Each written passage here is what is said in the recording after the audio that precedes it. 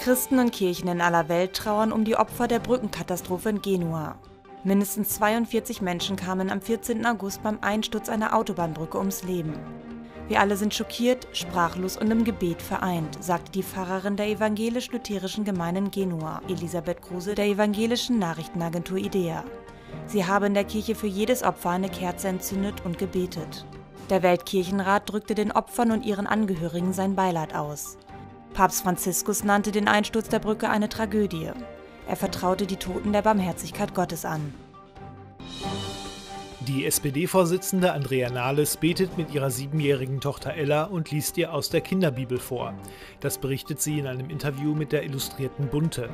Die Lieblingsgeschichte von Ella sei David gegen Goliath. Nahles, das war bei mir als Kind auch so. Das Alte Testament fasziniert in dem Alter noch mehr als das Neue.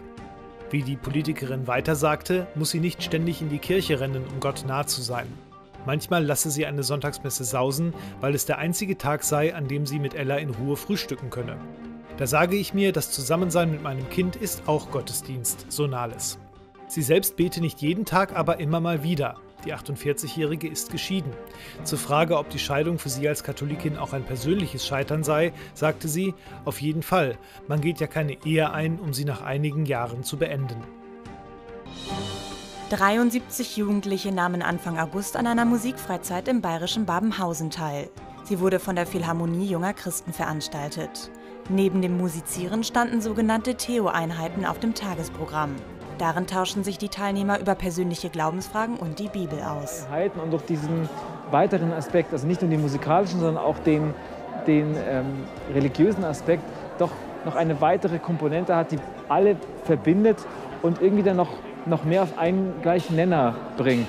Und das ist eine, ein ganz besonderer Spirit, der sich da daraus ergibt. Durch die Verknüpfung von klassischer Musik mit biblischen Inhalten wollten die Veranstalter den Teilnehmern einen anderen Zugang zur Klassik und dem Glauben ermöglichen. Der Teil dieses Projekts zu sein, ist natürlich äh, einfach fantastisch, weil man sieht, was man in zehn Tagen schaffen kann, wenn alle an einen Strang ziehen. Und äh, man sieht, was eine Gemeinschaft, die stark ist, einfach ausmachen kann. Einfach die, die Chance, äh, das zu kombinieren, die Musik einerseits, also was einfach mein Hobby ist, und eben auch den Glauben irgendwie auszuleben und dass man da einfach Gleichgesinnte trifft finde ich einfach ein spannendes Projekt.